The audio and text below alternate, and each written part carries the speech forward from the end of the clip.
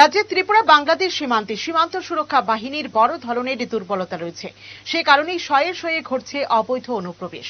সোমবার Teliamura rail station চত্বর থেকে শিশুসহ সাতজন অনুপ্রবেশকারী আটক করা হলো।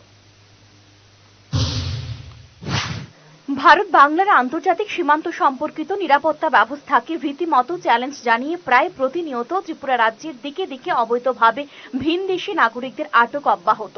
সোমবার আরও একবার তেলিয়ামুড়া রেল স্টেশন চত্বর থেকে বিএসএফ ইন্টেলিজেন্সের হাতে সাত বাংলাদেশে আটক হওয়ার ঘটনা সামনে আসে।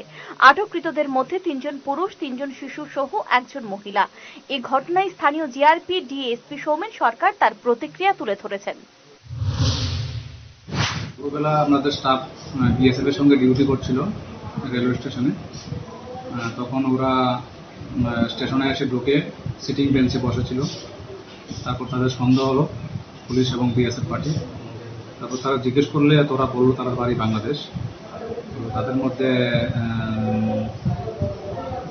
তিনজন পুরুষ আছে, একজন মহিলা আর তিনজন বাচ্চা আছে।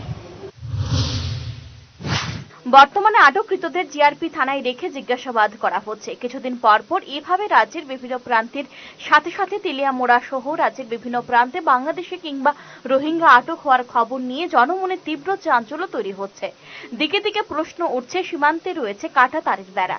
এছাড়াও সীমান্ত জুড়ে কঠোর নিরাপত্তা বলয়ের দাবি বারবার করা হলেও কীভাবে এই নিরাপত্তার জাল ছিন্ন করে অবৈধ উপায়ে ভিনদেশিরা এ দেশে প্রবেশ করছেন? Bureau report headlines Tripura national